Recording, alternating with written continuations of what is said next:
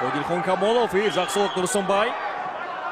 Конечно же, будут поддерживать очень сильно Турсумбая. Да и на самом деле болельщиков из Узбекистана и болельщиков Одильхона очень много. Я уверен, что те, кто смотрит нас в прямой трансляции, прямиком из Узбекистана, также многочисленное количество.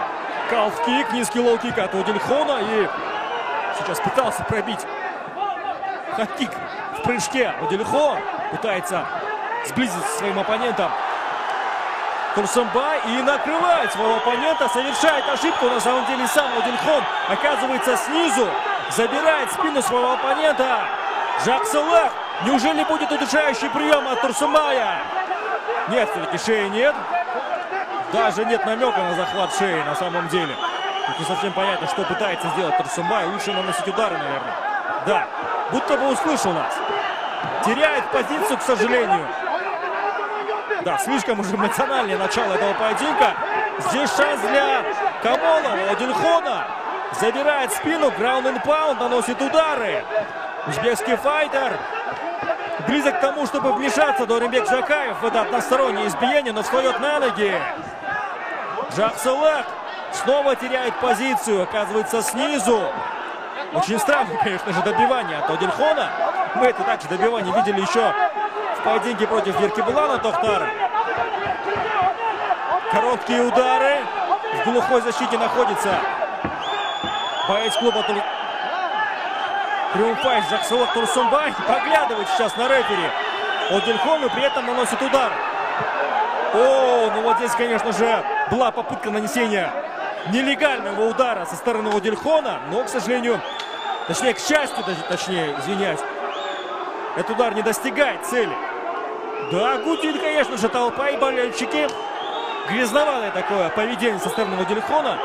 При всем уважении к узбекскому файтеру, но это было сделано намеренно. Прижимается к октагона. Атака от Турсымбая оказывается снизу. Одельхон. Что же здесь предпримет Джаксулов? Наносит удары. Здесь аккуратно нужно, конечно же, быть затылком. Оказывается сверху. Полный маунт уже. Фулл маунт. И здесь главное не торопиться. Иначе можно потерять позицию. И наносить удары нужно аккуратно. Дабы не нанести удар по затылку. Джаксулок Турсумбай просто ужасен в этом добивании. Для него это шанс, но здесь Адельхон показывает нам лайки, что все отлично. Но при этом пропускает очень много ударов. Я, наверное, с этим пальцем вверх, наверное, поспорил. Снова теряет позицию. Джаксулок Турсумбай. Все очень быстро меняется. Мое ощущение, что мы наблюдаем с вами повтор поединка Еркибулан, Тухтар и Адильхон Камолов. Но вместо Еркибулана здесь у нас Жаксок Нурсумбай. Все быстро меняется, позиции меняются. Наносит удары со стороны добивания со стороны и Камолова, и Турсумбая присутствует. И все это в, в рамках одного раунда. 90 секунд до окончания первой пятиминутки. При этом уже маунт занимает Камолов Адельхон. Очень опасно сейчас для Джаксалыха. Снова добивание и выход на удушающий прием от Адельхон Камолова. Нет, здесь опасности для шеи нет. А вот сейчас нет, также отсутствует опасность со стороны Одельхона Камолова, но снова выходит на маунт. Как быстро все меняется. Минута до окончания первого раунда. Удастся ли закончить бой досрочно Адельхону Камолову, узнаем буквально за последние секунды этого противостояния. Главный вопрос, сможет ли Адельхон Камолов одержать победу, чтобы реванш с Терекубланом Тухтаром оказался нам нужным. Иначе в этом смысла абсолютно никакого нет, если Адельхон проиграет этот поединок. Но Турсумбай Жаксулак из последних сил пытается выжить в эти последние 30 секунд. 20 секунд до окончания первого раунда. Колено в корпус от Аделихона.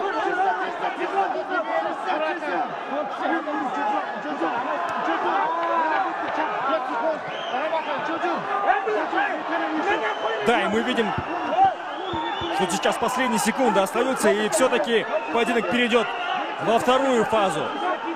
Фазу второго раунда. Где уже выносливость и функциональная готовность двух спортсменов даст на себе знать.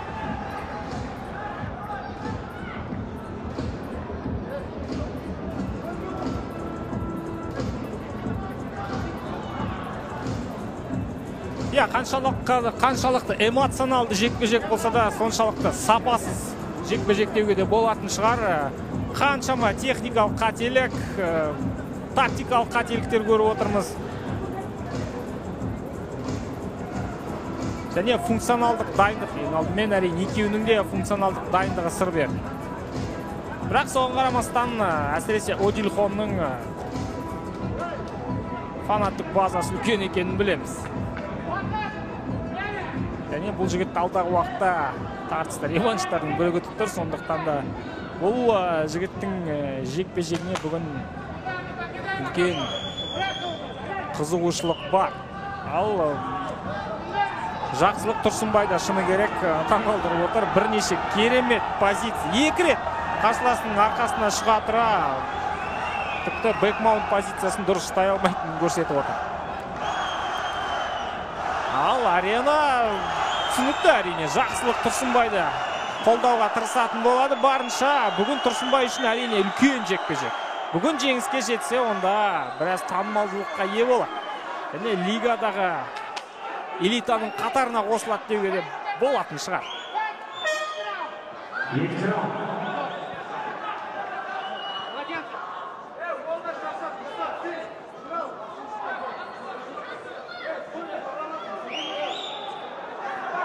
Сәл уақыттан кейін жалғастыратын боламыз. Өзбек спортшысының үстінде сәл су алған екен. Екінші раунд.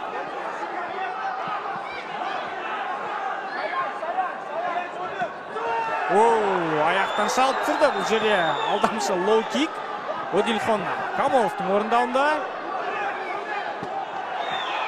Кетті алға. Жақсылық бірақ әзірше бұның барлығын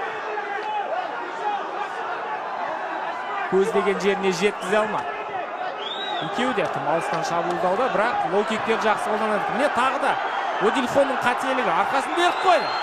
Жақсылық не бітіреді бұл жерден? Енді жібермейді деп үміттенейік. Осымен үшінші рет қарсыласының арқасына шығып отыр. Жоқ. Бэкмаунт позициясына ие бола алмай қалды бұл жерде. Қазір камоловтың астында қалып қоюы әбден ықтимал. Ал одильхон барлығын дұрыс жасап отыр әзірше. Қарсыласының басын ұстап алған ең алдымен бұл жерде басты қадағалау керек. Қазір тіпті партердегі белсенділікті көрмегеннен кейін рефери жігіттерді аяққа тұрғызып жөн санаған екен. Міне енді оу дәл тиген соққы нокдаун! Тұрсынбайдың орындауында ары қарай бұл нәтижені жалғастыру керек. Позицияны ұстап қалуға барынша талпынатын болады. Жоқ аяққа ауырту әдісіне көшті камолов. Жоқ қолдан келмеді. Фул маунт ұстап қалады ма бұл жерде? Жоқ. Тағы да қарсыласында. Реверс аудару әдісін жасады бұл жерде камолов жабық гард позициясы. Және еш қиындықсыз міне аяққа тұра салу еді. Тұрсынбай гард ашып міне қазір тіпті өзі не істеп жатқанын түсінбеген сияқты. Аяққа ауырту әдісі былай ауырту әдісін жасауға болады ма екен? Көрейік. Позиция алған жөн шығар. Аяқты қайтесің. Иә барлығы дұрыс. Тағы да қарсыласының арқасына шықты. Бұл мүмкіншілік әрине соққы жаудыру керек. Тұрсынбай барынша соққы жаудыруға тырысатын болады. Уақыт деген жеткілікті екі жарым минуттай уақыт бар әлі алда. Позицияны ұстап қалуға да мүмкіншілік бар. Керемет бірақ міне тағы да позицияға көп көңіл бөлмейді. Аяқтары қайда? Аяқпен қарсыласының аяқтарын байлап ұстау керек қой. Иә жауапсыз бірнеше соққы рефери араласуға дайын. Жақсылық тұрсынбай. Толассыз соққы жаудыруда бірақ позицияға көңіл бөлмейді. Қазір одильхон камолов тағы да шығып кетуі мүмкін бұл жерден. Қарсыласының жамбасын аяқтарын қадағалаған дұрыс болар. Міне қазір біртіндеп соны жасай бастады. Тұрсынбай. Жоқ бұндай соққылар әрине техникалық нокаутқа әкеліп тіремейді. Қанша қазір қарсыласын өз үстінен алып тастауға тырысса да берілуге де дайын сияқты бұл жерде одильхон жеңіл желпі соққылар әрине бұлардың салмағы жоқ. Ал тұрсынбай не көздеді бұл жерде? Бұл жерден ешқандай да әдіс жасай алмайды ау. Міне сытылып шығып кетті әйтеуір қарсыластың үстіне отыра қарайсыздар әбден шаршады жігіттер бір минут уақыт бар алда қазір енді камоловтың мүмкіншілігі соққы жаудыруға есе қайтаруға қайтаруға мүмкіншілігі бар иә қарсыластың үстіне отырды шынтақ іске қоса бастады иә қапас түсіп кеткен екен жаңағы греплингтегі арпалыс барысында бұл жерде жатып енді не тындырақ одильхон камолов позиция еншілеуге тырысатын болады. Ал жақсылық болса. Жоқ. Тек қана уақыт созу міне тіпті соққы жаудыруға да шыға алмаған екен. Екеуінің де ары қарай айқасуға ешбір күші қалмады. Міне тіпті бэкмаунт позициясын ұстауға да асығар емес. У міне бұл бұл дұрыс шешім. Бұны бұрыннан бері жасау керек тағы да позиция. 15 секундтай уақыт бар. Одильхон камоловта бірақ соққының салмағы жоқ. Байқап отырсаңыздар бұндай соққылармен уақытынан бұрын жеңіске жету әрине екі талай демек біз үшінші раундты тамашалаймыз деген сөз. Иә. Үшінші раундта қарқын қандай болады? Түсініксіз. Үшінші раунд екі жігіт ішінде шешуші болмақ.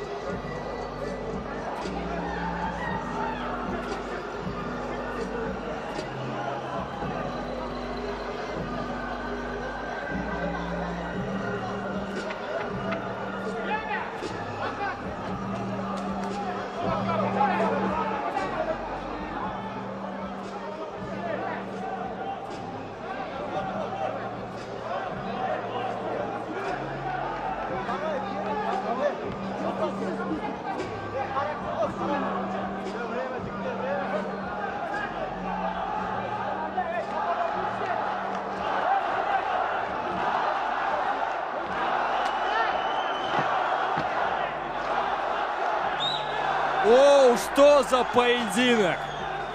Что за поединок, а? Что за два эмоциональных раунда? Да, вот сейчас Исетай тут говорил о том, что технически они все делают неверно, но зато эмоционально, я думаю, каждый зритель здесь, в Лауншалаке, каждый, кто пришел сюда, купив билет и смотрит этот турнир вживую, наверное, вовлечен в это, во все это происходящее. Мы как можем максимально, конечно же, передадим этот захватывающий поединок своими эмоциями, своими комментариями. Попытаемся это сделать, но в любом случае нужно находиться здесь, на арене. Пропускает удары, падает уже. Непонятно от пропущенного удара, либо на фоне уже усталости теряет равновесие. Занимает позицию маунта. Жаксылак Турсумбай. Наносит короткие удары локтями.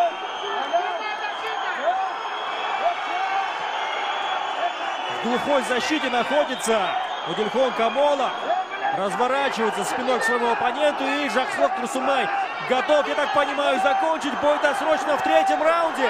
Дауринбек Закаев вмешивается. И Жаксулах Турсумай одерживает досрочную победу над Адильхоном Камоловым.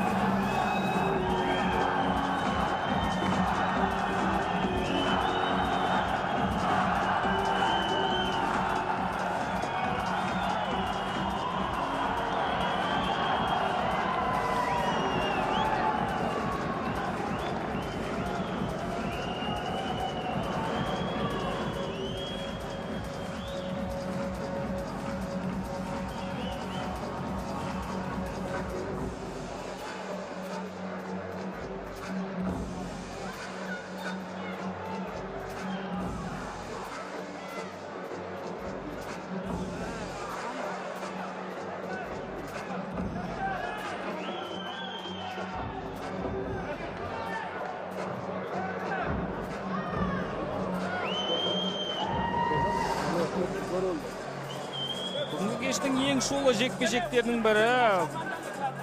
Өзін толықтай ақтап шықты деуге де болатын шығар. В третьем раунде на 56-й секунде победу техническим нокаутом одержал боец из Казахстана. Жақсылық Тұрсынбай!